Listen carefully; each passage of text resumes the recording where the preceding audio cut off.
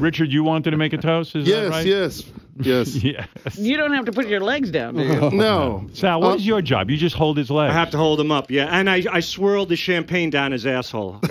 I do the motion. Very nice. Nice job. Thank you. What a, what, what a great deal.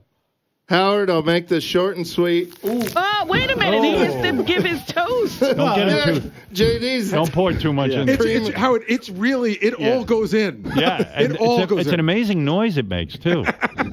Put- Just do a little bit into his asshole so you can hear the noise. Oh, geez. you got to see this.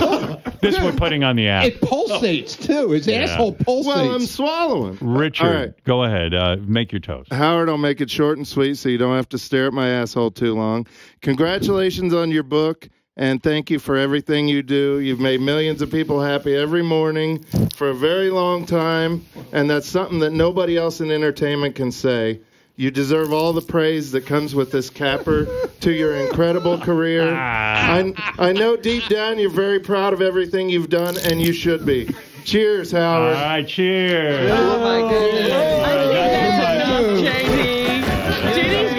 Oh. Howard, can I make a mimosa? JD, No. pour orange juice in there. Oh. Put some orange juice in his asshole. It's Go ahead. morning time. Are you sure this is gonna be okay? Yeah, it's fine. Orange juice. I fine. know. I'm worried about the champagne, not the orange. Put some juice. bacon and Oh. eggs in there, too.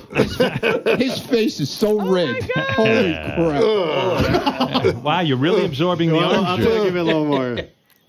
Oh, perfect. now a little more champagne. Shove, No, it, no, no, no, no. you've had enough, You I had think. enough. shove, shove an ice cube in there. You had enough Nice champagne. Put an ice cube in there. Pour some coffee in so I can sober up. Nice. There we go. All